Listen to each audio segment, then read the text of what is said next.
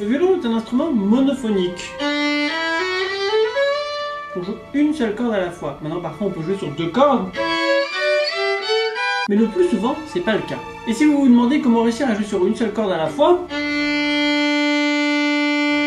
sans toucher les autres cordes, trois conseils pour y arriver sans y passer des années.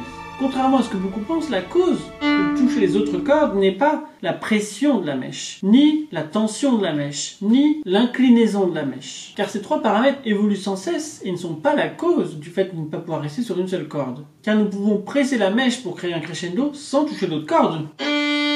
On peut également changer la tension de la mèche, donc je conseille de pas trop la tendre, vous voyez, l'archer reste quand même incurvé. Donc si on la tend plus, ça va pas changer. Maintenant si on la détend beaucoup, trop, pour le coup là, c'est un peu trop détendu. On entend qu'on joue un peu sur le bois. Voilà, je touche le bois. Donc c'est pas terrible.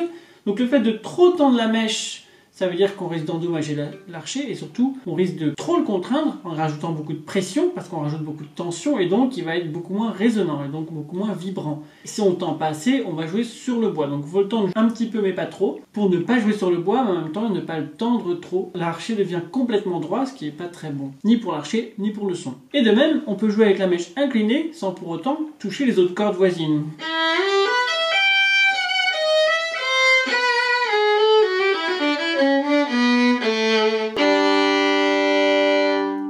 Si j'ai envie de jouer sur deux cordes, ça aussi c'est une autre chose, de réussir à garder les doubles cordes sans perdre l'une ou l'autre. Et surtout, de réussir à avoir les deux cordes égales. Et en fait, pour que les deux cordes soient égales, il faut être plus sur la corde grave que sur la corde aiguë. si on joue Ré là, on veut plus de Ré que de La. Parce que si on a trop de Mi par rapport au La, ça va sonner très déséquilibré parce que la corde aiguë est toujours plus forte dans les graves et moins c'est résonnant. Donc si on joue double corde,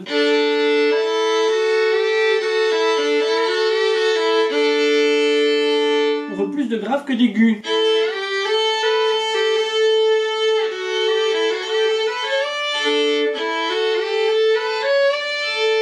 Donc le premier point déterminant pour jouer sur une seule corde à la fois, c'est, vous l'avez deviné, vous l'avez pas deviné? Bon, ben, c'est l'angle du bras là. Et qu'est-ce qui détermine l'angle du bras? Je vous donne 3 secondes pour le trouver. C'est le coude qui définit l'angle du bras. Donc c'est pas l'épaule, on va y revenir, c'est pas non plus le poignet, c'est le coude qui définit l'angle de l'archer. Donc concrètement, c'est un transfert de poids. Le coude change d'angle et transfère le poids pour que l'ensemble du bras bascule en haut ou en bas. On veut basculer, c'est le coude qui va faire ça. On va pas rester.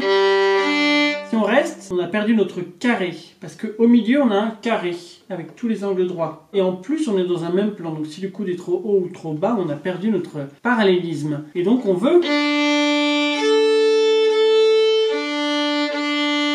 que tout ça reste parallèle. Donc c'est le coude qui anticipe. Donc ça anticipe avant même de changer. On fait des allers-retours rapides, des bariolages, là c'est le poignet et non plus le coude, on ne peut pas faire. Si tout bouge, ça va pas marcher. Donc là, dans ce cas, c'est le poignet qui prend le relais. Si c'est pas en bariolage, eh ben, ce sera le coude qui fera ce changement d'angle. Ce qui nous conduit au deuxième point, qui est que pour réussir à opérer ce changement d'angle, il faut que nos épaules, surtout notre épaule droite, mais les deux sont liées, qu'elles restent passives et basses. Parce que si nos épaules d'un coup ça fausse tout. C'est seulement le coude. Donc on veut garder ce carré. Si l'épaule commence à monter, ne serait-ce qu'un petit peu, ben ça va, ça va fausser les angles. Donc on veut que l'épaule reste basse, les deux épaules étant liées. Si on lève l'épaule droite, ça va être très difficile de garder l'épaule gauche basse. Et si on lève l'épaule gauche, c'est pareil, ça va être difficile de garder l'épaule droite basse. Tout est lié. Donc il faut réussir à garder les deux épaules basses.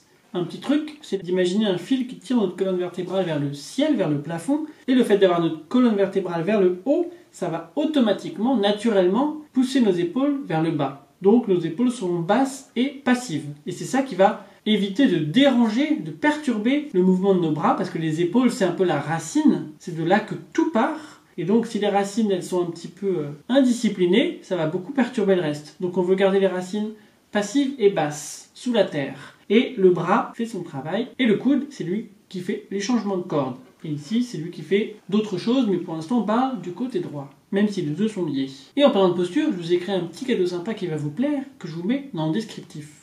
Mais attention, il n'y en a que 5 de disponibles. Non, je plaisante. Ce qui nous conduit au troisième point, pour garder notre archer sur une seule corde à la fois. Et c'est l'angle du violon. Et dans la précédente vidéo, justement, je vous parlais du réglage du coussin pour que ce soit en hauteur ici aussi bas que possible et ici aussi bas et aussi haut que possible. Donc la hauteur et au niveau de, l'angle, donc pour que ce soit comme ça. C'est ce qui pour moi me permet d'avoir le violon au bon angle et surtout avec la bonne inclinaison. On veut que le, violon soit le plus à plat possible. Après, si vous jouez sans coussin, ça permet au violon d'être encore plus à plat. Donc là, j'en parle également dans la vidéo précédente. Et si vous l'avez raté, je vous la mets également dans le descriptif. Parce que l'angle du violon affectera l'angle des cordes. Et on veut que la corde sol soit accessible, mais pas trop non plus. Si le violon est trop incliné, on risque de jouer déjà sur le bois. Et en plus, on aura bien la corde sol, mais on n'aura pas la corde mi. Parce que là, on sera complètement bloqué contre notre buste, notre bras n'aura aucune mobilité. Donc on veut que le violon soit aussi horizontal que possible pour que la corde sol soit quand même accessible. De toute façon, il va jamais être comme ça, ou là ce serait compliqué. Donc il sera de toute façon, il sera jamais complètement à plat, même sans coussin. Donc, donc là, il est bien accessible. Et la mi est accessible sans avoir le bras qui se colle au buste.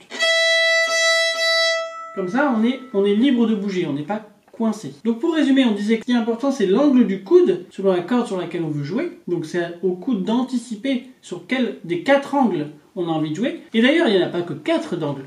Combien est-ce qu'il y a d'angles de corde? Je vous laisse 3 secondes pour le trouver, sachant qu'il n'y a aucun prix à gagner. Eh bien, oui, il y en a 7. Corde sol, corde sol ré, corde ré, corde ré la, corde la, corde la mi, corde mi. 7 angles. Et donc, c'est à notre coude d'anticiper sur quel angle on se trouve. Et donc, le deuxième point, c'était de garder nos épaules basses et passives. Et je dis bien nos épaules, même si on ne parle que du côté droit, parce qu'elles sont toutes les deux connectées. Et ensuite, de régler l'angle du violon au niveau déjà du placement et ensuite de l'horizontalité du violon pour faciliter un accès égal sur les quatre cordes. Et en bonus, je vous ai créé un petit guide que je vous mets dans le descriptif. Vous avez vraiment beaucoup de choses à retrouver dans le descriptif. Hein. Alors tous ceux qui n'y vont pas, c'est que vraiment je n'y comprends plus rien.